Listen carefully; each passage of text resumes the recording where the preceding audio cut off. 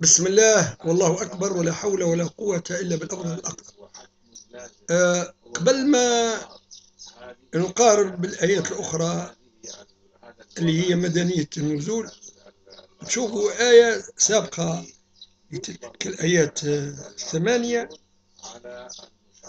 هي يقول فيها ربي ومن كان في هذه أعمى أي في هذه الدنيا أعمى فهو بالآخرة أعمى. يعني يبقى هكك ربي ما لا قالك أعمى هنا وهناك وانت يوم القيامة يقول تقول ربي كنت بصير عميتني اليوم. قال كذلك أتتك آياتنا آياتنا فنسيتها وكذلك اليوم تنسى. انت نسيت الآيات الكونية والقرآنية. وتحب بعد تكون ترى وتبصر. غاديك العذاب تلقي ويزيد يحملك النار ويزيد يعيدك كما أنا ألوان أخرى من العذاب وكذا. ولا تفهم بالضبط لا كوعك من بوعك والعياذ بالله.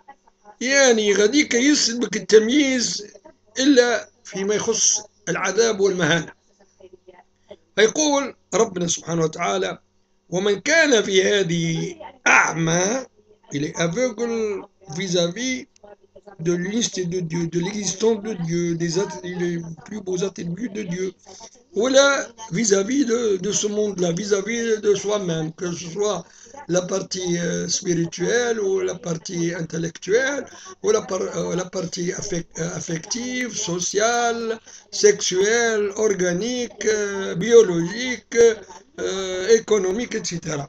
ومن كان في هذه أعمى فهو بالآخرة أعمى. هنا الأولى أعمى أفيغل وربما الأخرى بلوز أفيغل يعني الله أعلم إيش معناها أكثر من الأعمال وفي.